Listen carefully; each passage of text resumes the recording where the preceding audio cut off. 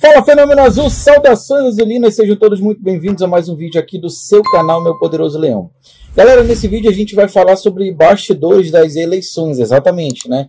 Inclusive o Magno Fernandes trouxe aí no Twitter dele a informação de quando vão rolar essas eleições, então vou trazer tudo isso para vocês. O, o Marco Antônio Pina também trouxe a informação de quem será o seu vice-presidente de negócios, então fica aí até o final para não perder nada do que eu vou dizer nesse vídeo de hoje, beleza? Galera, é o seguinte, antes de começar o vídeo, deixa eu pedir logo, você que já está chegando, você que está vindo aqui no vídeo agora, não esquece de deixar o like, não esquece de verificar se já é inscrito. Se não for, se inscreve no canal, que isso tudo é muito importante para o trabalho aqui do canal, beleza? Bom, vamos lá. Primeiro vamos falar, antes de falar de eleição, vamos falar de sub-20.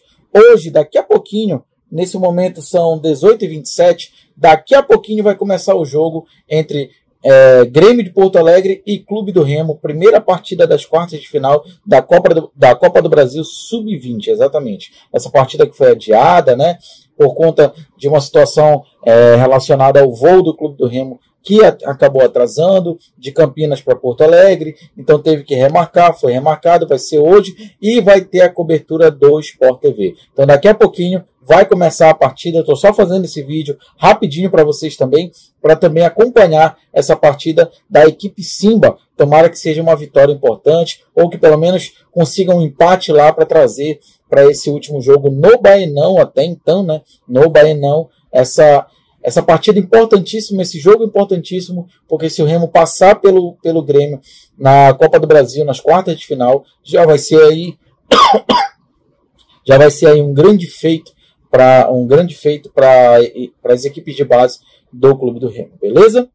Bom, a equipe sub-17 também vai ter um jogo amanhã, né? Vai ser uma próxima, se eu não estou enganado, a terceira rodada do Campeonato Paraense sub-17. Então amanhã tem mais uma partida que também vai ser disputada no Seju, no campo 1. Então, 9 horas, 9 e meia da manhã, vai vai ser essa partida. O Remo que venceu a primeira partida, perdeu a segunda e agora vai para a terceira partida na continuidade da competição. Beleza? Agora vamos falar sobre é, eleições no Clube do Remo. Por que, que a gente vai falar sobre isso? Primeiro, na manhã de hoje, Marco Antônio Pina, nas suas redes sociais, divulgou quem será o seu vice-presidente de negócios na sua chapa, que vai ser inscrita nessas eleições de 2023 do Clube do Remo. Tá? E o seu vice-presidente vai ser Gilmar Nascimento. Gilmar Nascimento, que hoje é integrante do Condel, ele é presidente do, da Comissão de Assuntos Legislativos do Condel, tá? Ele também tem um histórico já aí pelo Clube do Remo, ele já foi diretor náutico em dois, de 2013 a 2015, diretor jurídico de 2017 a 2018 e conselheiro já em dois momentos, né? Conselheiro em 2017 e 18, saiu em 19 e 20, agora retornou 21 a 23. Então ele está como conselheiro e como diretor de assuntos da Comissão de Assuntos Legislativos do Condel. Né? O Marco Antônio Pina falou sobre fortalecer é, essa campanha de profissionalização do Clube do Remo e a importância que o Gilmar Nascimento vai trazer para esse fortalecimento. Tá? Ele fala o seguinte, abre aspas aí para Marco Antônio Pina. Gilmar Nascimento é a parte integrante do plano de gestão para, tomar, para tornar o Clube do Remo mais forte e vitorioso.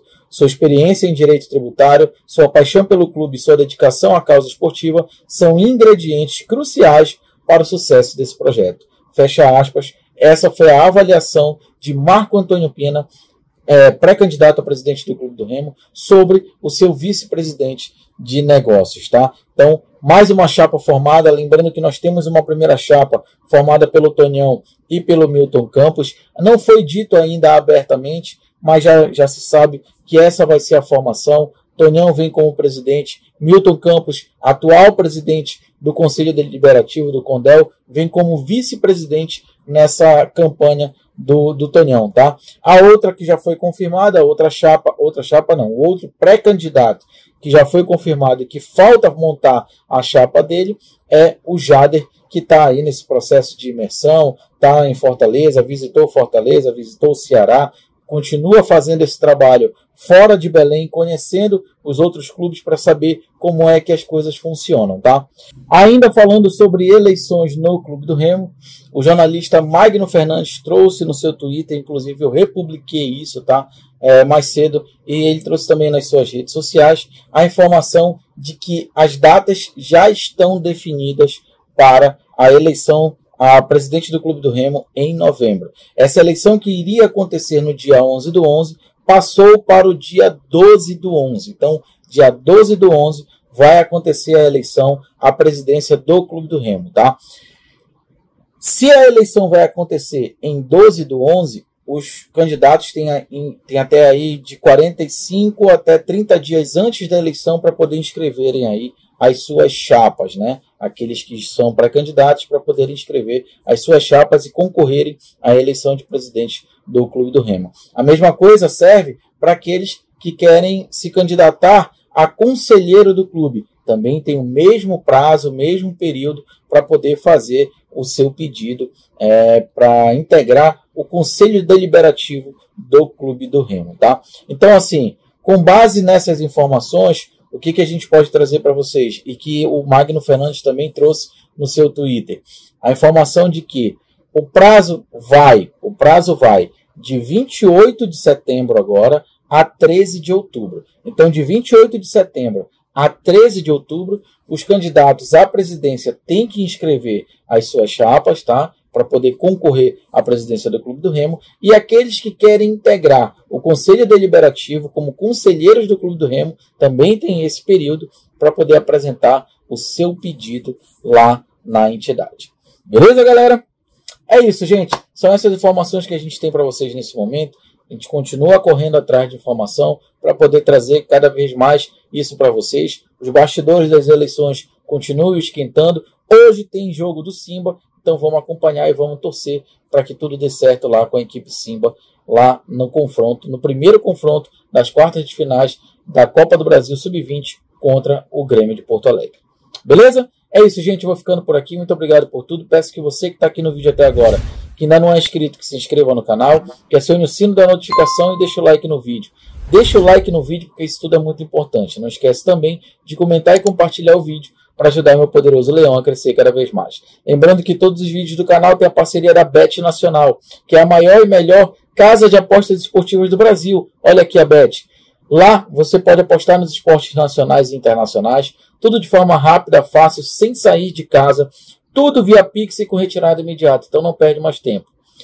Depois do vídeo agora, vai aqui na descrição, clica no link que está lá, faz o seu cadastro, coloca o código de afiliado Meu Poderoso Leão começa a fazer suas apostas e garantir grana extra agora para 2023. Bet Nacional, galera, aqui dá sempre jogo. Lembrando que essas notícias e muitas outras notícias sobre o futebol paraense você pode acompanhar tudo diretamente através do portal FutePA. FutePA, portal colaborativo de notícias esportivas do, do, do, do estado do Pará. Então, quer procurar? www.portalfutpa.com.br, tá? Vou repetir. www.futpa.com.br www.futpa.com.br Vai lá e acompanha todas essas notícias e muito mais sobre o futebol paraense. Beleza? Grande abraço, galera. Fui!